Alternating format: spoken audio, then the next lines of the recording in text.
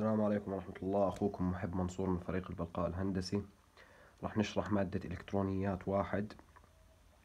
نبلش على طول في أول موضوع اللي هو السيمي كوندكتور بنحكي فيه عن شبه الموصل.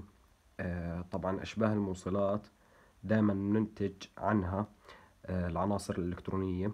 طبعا هذا الموضوع آه، فهم على حفظ يعني يعني فيش فيه حل أو إشي زي هيك. كلياته آه، بتقدر تحكي يعني يا بتحفظه يا بتفهمه. فبدي أعرف إنه شبه الموصل بنتج عنه العناصر الإلكترونية اللي هي زي الترانزستور أو الديود أو إلى آخره. آه في شوية معلومات مننا نعرفها يعني. آه عندي هسه في الذرة لما يكون في آخر مدار من إلكترون إلى ثلاث إلكترونات الذرة هاي بتفقد هاي الإلكترونات. يعني إذا في إلكترون أو إلكترونين أو ثلاث إلكترونات في آخر مدار في الذرة بتفقد هاي الإلكترونات وبتصير الذرة عبارة عن أيون موجب. طيب إذا عندي في آخر مدار في الذرة خمس إلى سبع إلكترونات الذرة بتصير تدور على إلكترونات تكسبها في هاي الحالة وبتصير أيون سالب. إذا عندي في آخر مدار أربع إلكترونات واللي هي يعني الحالة الأهم اللي راح نكون بانين عليها كل المادة. إذا كان عندي آخر أربع آه، آخر آه، مدار فيه أربع إلكترونات الذرة بتصير تدور على ذرة ثانية تتشارك معها هاي الإلكترونات بتكون عندي رابطة تساهمية equivalent band. آخر مدار لازم يكون فيه ثمان إلكترونات عشان يكون العنصر مستقر. يعني زي ما حكينا هون من واحد لثلاث بفقد من خمسة لسبعة بكسب. إذا أربعة بدور على إشي عنده أربعة عشان يصير ثمان إلكترونات ويستقر. تمام. هسه هان أما حكينا آخر مدار بدنا نعطي تعريف إنه آخر آه إنه تسمى إلكترونات آخر مدار إلكترونات التكافؤ اللي هي equivalent electrons. كل ما أقرب هاي كمان معلومة كل ما أقرب آه إلكترون من الذرة قلت طاقته. كيف يعني؟ يعني عندي هون مثلا عنصر B. عندي هون إلكترونين. عندي هون أربع إلكترونات. عندي هون ثمان إلكترونات. تمام؟ هسا أنا قاعد بحكي عن إلكترونات. الإلكترون شحنته سالبة كلياتنا بنعرفها. طب الذرة جواتها شو بكون في عندي؟ بكون عندي بروتونات ونيترونات. النيترون متعادل. البروتون شحنته موجبة تمام؟ هسا المعلومة هاي بتقول لي كل ما أقرب الإلكترون من النواة هاي بتقل طاقة الإلكترون. ليش بتقل؟ لأنه عندي الإلكترون سالب زي ما حكينا والبروتون اللي جوا الذرة هاي بيكون موجب. فالإلكترون هذا اللي بيكون على أول مدار طاقة التجاذب بينه وبين البروتونات اللي جوا النواة بتكون يعني طاقة التجاذب أكبر من طاقة بين مثلا الإلكترون هذا آه، منها. فالطاقة تبعت الإلكترون هذا بتكون أضعف لأنه البروتونات هاي شاديتها أكثر ما هي شادة الإلكترون هذا.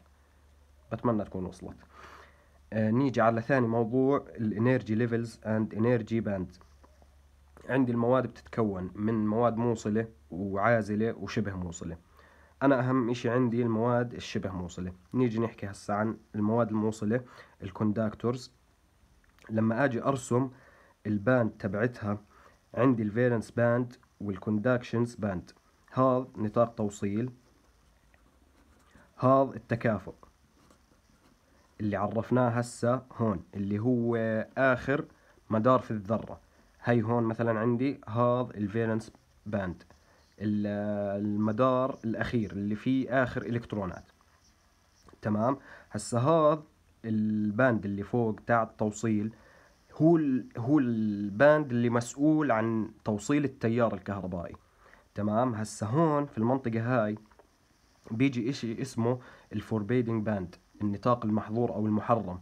هسه هذا بيجي دائما بين نطاق التكافؤ ونطاق التوصيل. طبعا في المواد الم... في المواد الموصلة ال conductors ما بيكون موجود عندي forbidden band بيكونوا متداخلات يعني إلكترونات ال valence band نفسها إلكترونات ال conduction bands ما في بينهم ولا إشي هاي المنطقة مسكرة يعني زي أكنهم نطاق واحد.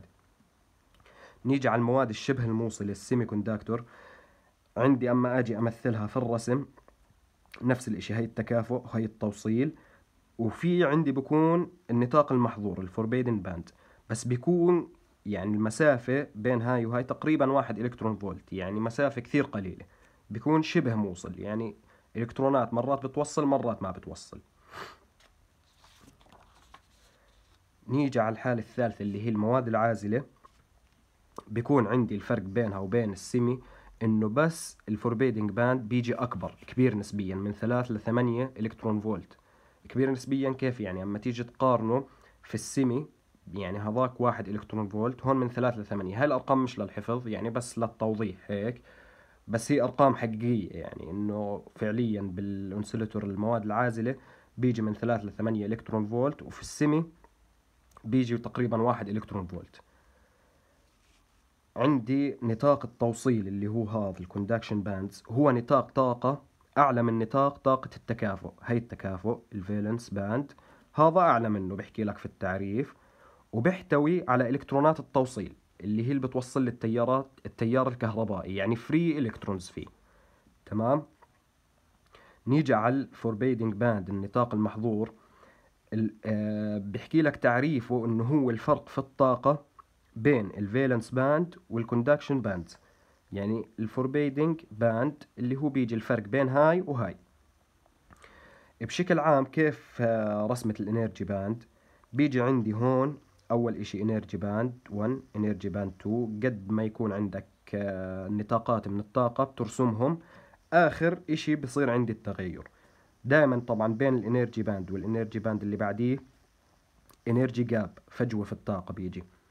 فهاي أول فجوة هاي ثاني فجوة.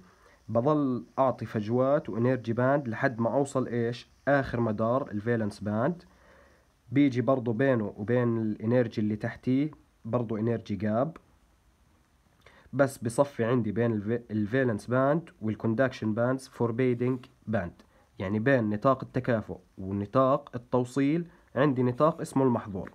المسافة بين هاي وهاي اسمه النطاق المحظور. تمام؟ هسا عند اكتساب طاقة في ال valence هاي ال valence التكافؤ أما آجي أعطيه طاقة مثلا أعطيته ضوء أو حرارة حكينا هذا ال band اللي بيجي فيه إلكترونات آخر مدار. يعني هون في electrons. سوالب. لما آجي أعطيه طاقة شو بصير؟ الإلكترون هذا بتحرر عن طريق الطاقة هاي وبطلع على النطاق اللي فوقه نطاق التوصيل. فهون أما يوصل على نطاق التوصيل زي أكنه تحرر من الذرة يعني البروتون بطل يجذبه. فأما يوصل هون بصير عندي عبارة عن free electron ال free electron اللي هو المسؤول عن عن تكوين التيار الكهربائي. تمام؟ فلما أحط طاقة هون في ال valence band الإلكترونات هاي بتتحرر بتطلع على ال conduction bands. طيب لما يجي هون يخسر طاقة يعني الإلكترون اللي هون يخسر طاقة إيش بصير؟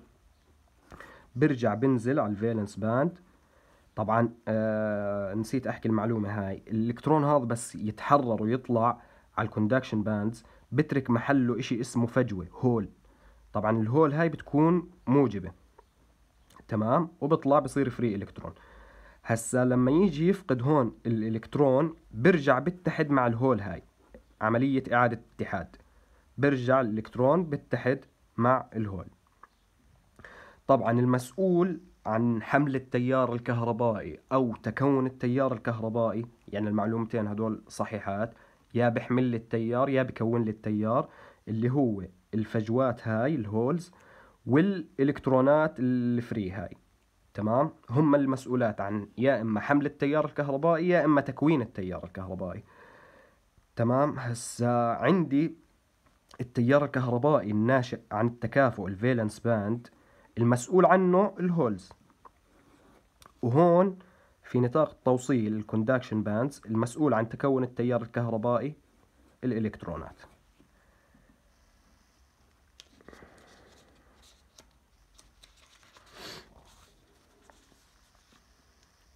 هسا عندي آه، في ال semiconductor اللي هي المواد الشبه الموصلة آه، المواد اللي بنستخدمها اللي هي السيليكون والجرمانيوم. هسا بيحكي لك ليش السيليكون أكثر استخدام من الجرمانيوم. بشكل عام يعني لما نيجي نصنع إشي آه، إلكتروني أو عنصر إلكتروني بقول لك غالبا إنه المصانع بتستخدم السيليكون. ليش بتستخدم السيليكون؟ ليش مش الجرمانيوم يعني كشكل غالب؟ أنا باجي بحكي لك ليش. هسا السيليكون أكثر استقرار من الجرمانيوم. كيف يعني أكثر استقرار؟ يعني بتحمل حرارة أعلى. آه، بتحمل ضغط شغل أكثر حتى يتلف. فبتحمل آه، أي إشي ما بتحمله الجرمانيوم. طبعا شو سبب هذا التحمل؟ هسا كيميائيا لما تيجي بدك تفسرها إنه السيليكون عنده 14 إلكترون والجرمانيوم عنده 32 إلكترون. تمام؟ هسا لما نيجي بدنا نرسمها أول إشي السيليكون بأخذ هون 2 إلكترون في أول مدار ثاني مدار بأخذ 8 إلكترون ثالث مدار بأخذ أربعة إلكترون.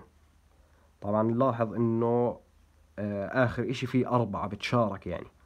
هاي المواد الشبه الموصلة.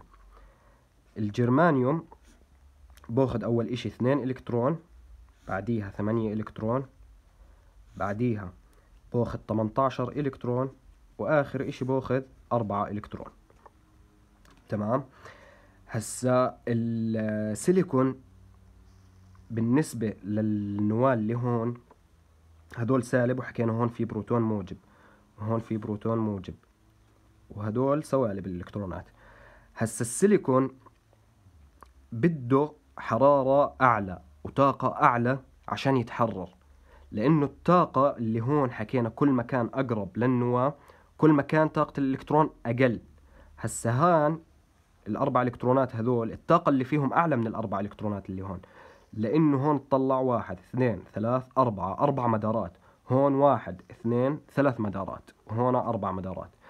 فالإلكترونات اللي في الجرمانيوم بدها نتفة طاقة وبتتحرر. يعني بدها شوية حرارة وبتتحرر. هان بده حرارة أعلى بده طاقة أعلى ليتحرر. فعشان هيك بتحمل السيليكون أكثر من الجرمانيوم لأنه بده طاقة أعلى لتحرر الأربع إلكترونات اللي هون. بتمنى تكون وصلت. آه نيجي على أشباه الموصلات الشائبة. ال impuring لا شو impuring؟ آه impurity إذا أنا مش فاهم على خطي الله يعينكم. آه impurity semiconductors أشباه الموصلات الشائبة. هسا أنا شبه الموصل عندي السيليكون أو الجرمانيوم بكون نقي. باجي بجيبه بحط عليه شوائب. ليش بحط عليه شوائب؟ بزيد من موصليته لما أضيف عليها الشوائب. إذا متذكرين في الكيمياء المحلول الكهرلي والشغلات هاي إنه لما تضيف شوائب لإشي معين pure موصليته بتزيد. فأنا بضيف شوائب لأشباه الموصلات هاي عشان أزيد موصليتها أزيد موصليتها. في عندي عملية اسمها ال doping اللي هي إضافة impurity إضافة شوائب لل pure semiconductor يعني عندي سيليكون نقي أو جرمانيوم نقي بجيبه بحط عليه impurity شوائب. هاي معناها شوائب. باجي بحط عليه النقي هذا السيليكون أو الجرمانيوم بحط عليه شوائب. بسمي هاي العملية في ال doping. ليش بحط عليه شوائب؟ عشان أزيد موصليته. هسا بهاي العملية آه بصير عندي آه نوعين. النوع الأول ال P type النوع الثاني ال N type ال P type اللي هو ال positive ال N type اللي هو ال negative تمام؟ هسا متى بصير positive type العنصر هذا؟ لما أضيف له 3 valence element يعني لما أضيف له عنصر ثلاثي التكافؤ. يعني في آخر مدار عنده ثلاث إلكترونات.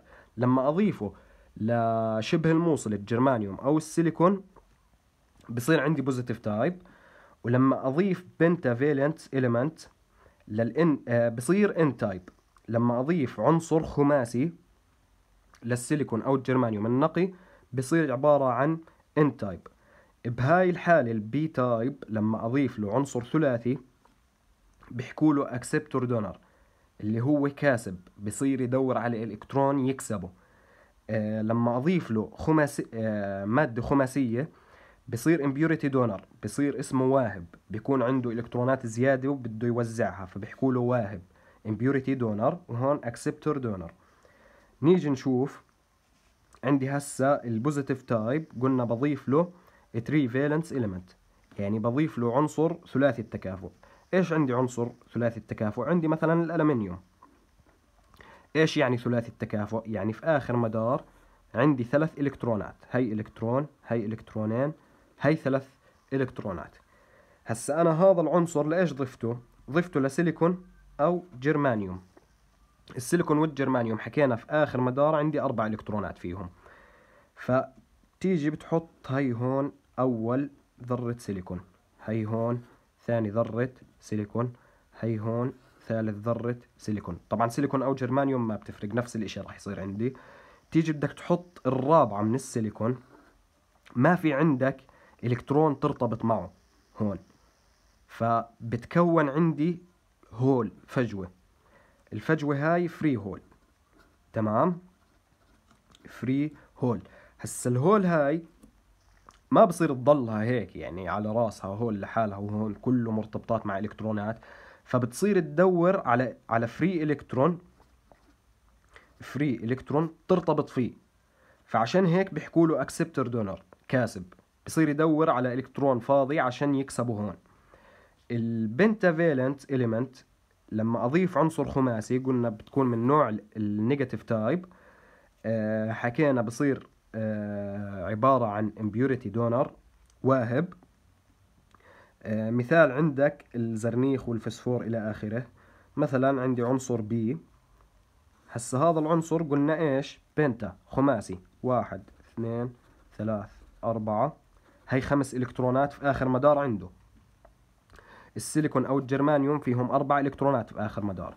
فهي سيليكون وهي كمان سيليكون وهي كمان سيليكون.